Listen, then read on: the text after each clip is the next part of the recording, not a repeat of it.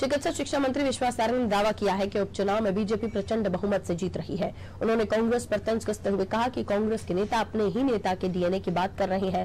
मंत्री सारंग ने प्रियंका गांधी पर भी निशाना साधा। उन्होंने कहा कि राजस्थान में कांग्रेस की सरकार दलित की हत्या मामले पर संज्ञान क्यों नहीं लेती? कांग्रेस सिर्फ़ राजनीति करना जानती है। कांग्रेस ने कश्मीर में आतंकी घटनाओं पर आज तक कोई प्रतिक्रिया नहीं दी। कांग्रेस पाकिस्तान परस्ती की बात करती है। मध्य प्रदेश में सभी उपचुनाव, तीनों विधानसभा के उपचुनाव और एक लोकसभा का उपचुनाव, भारतीय जनता पार्टी प्रचंड बहुमत से जीतने वाली है। जनता पूरी तरह भारतीय जनता पार्टी के साथ है।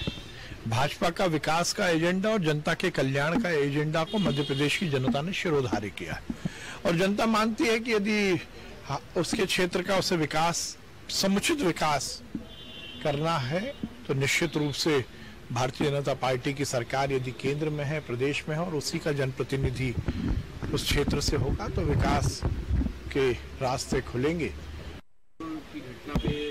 अब ये कांग्रेस लोकतंत्र में सभी को अधिकार है, परंतु अच्छा रहेगा कि वो जो राजस्थान में एक दलित व्यक्ति की जिस प्रकार से कांग्रेस की सरकार में, जो राजस्थान की सरकार है, उसमें जिस प्रकार से दलित को बेरहमी से मार डाला गया उसके लिए भी तो संज्ञान में ले चीज़ों को। कहाँ है प्रियंका जी, कहाँ है राहुल जी, कहाँ है कांग्रेस के वो नेता? क्या उन्हें वो दलित नहीं दिख रहा जिसकी इतनी बहरहमी के साथ राजस्थान में हत्या कर दी गई? उस तरफ़ भी तो संज्ञान ले।